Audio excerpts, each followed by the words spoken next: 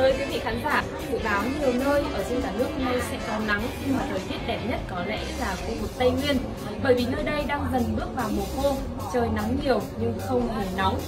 Không chỉ có thời tiết đẹp mà đến Tây Nguyên dịp này quý vị còn bắt gặp loài hoa dã quỳ đang nở vàng rực khắp các con đường hay là trên đồi. Đây là loài hoa dại nhưng mang vẻ đẹp dung dị và quyến rũ của khu vực Tây Nguyên. Nào, hãy cùng xách ba lô lên và đi thôi!